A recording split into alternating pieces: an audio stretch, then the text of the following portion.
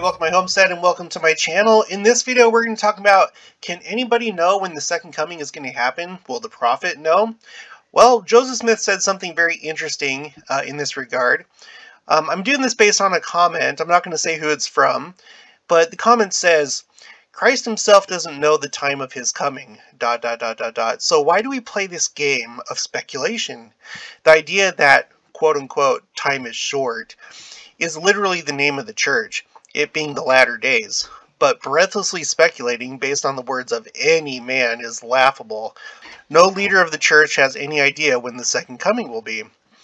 Well, if you're new to the channel, uh, you probably haven't seen this, or if you don't read the ensign, but if you go to the church website, okay, and you go to um, the church magazines, you go to the ensign, go down to 2002. Okay. Go to August. Let's see, where is that right here? And then find this article called, let me zoom in so you can see it. You go down to this article called The Prophet Joseph Smith's Use of the Old Testament. Okay. All right, let me zoom in again. Now, if you want to just hurry and find the part that we're talking about, do Control F if you're on PC, and then just type in hour. Okay, and here we go. So this is in the ensign. Uh, let's just start. Let's just start here. No, okay.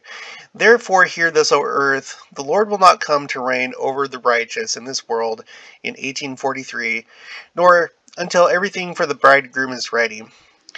Of the Saviour's words that no man knows the day or the hour of the coming of the Son of Man, from Matthew 24 36, the prophet asked, uh, quote, okay, now this is Joseph Smith. According to Joseph Smith, uh, did Christ speak this in a general principle throughout all generations? Oh no. he spoke in the present tense. No man that was then living upon the footstool of God knew the day or the hour. But he did not say that there was no man throughout all generations that should not know the day or the hour. No, for this would be in a flat this would be in flat contradiction with other scripture. For the prophet says that the God that God will do nothing but what he will reveal unto his servants the prophets. Consequently, if it is not made known unto the prophets, it will not come to pass.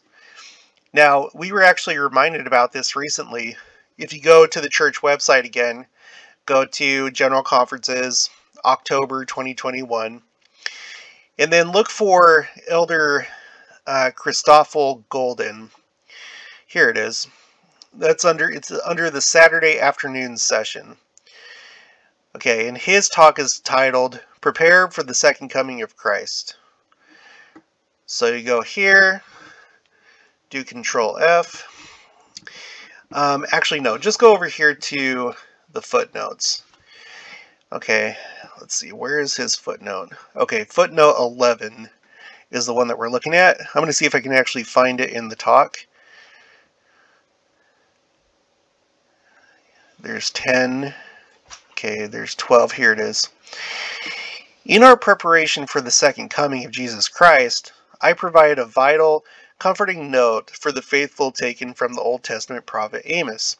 Quote, Surely the Lord God will do nothing until he revealeth his secret unto his servants, the prophets.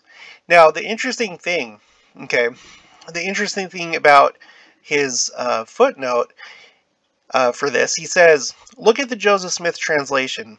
So, let's go to Amos uh, 3 7, and it says, Surely the Lord God will do nothing but he revealeth his secret unto his servants the prophets. Now, in my mind, that's already kind of clear that the Lord the Lord God will not do anything until he reveals it. But the Joseph Smith translation actually inserts the word to make it clearer. Uh, he changes it from but to until.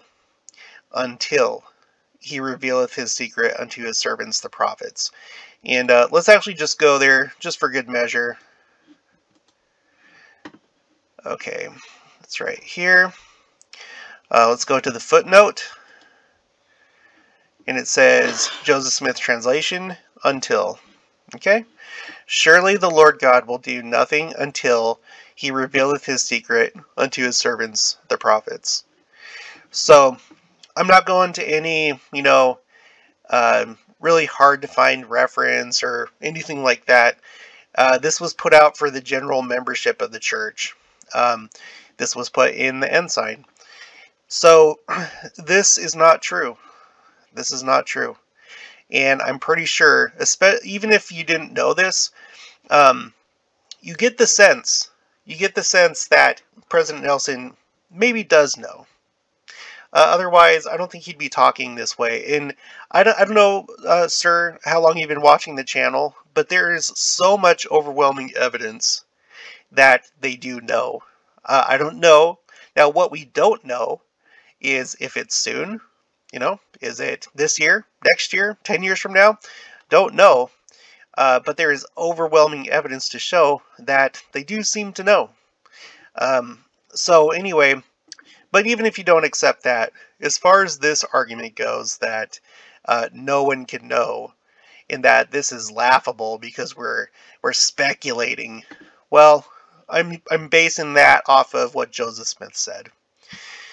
Now, if you haven't already, please make sure to subscribe, like this video if you liked it. Make sure to leave your thoughts and opinions down in the comments below. Also, make sure to share this. I know there's a lot of people, they, they don't have all the time in the world to do as much study as, as I've done to find all these different sources. Um, you know, so I can't fault this person because I don't know anything about their life or how much time they have. But, um, you know, uh, we got to be careful when we make sweeping declarations like this like, oh, this is not possible, that can't happen.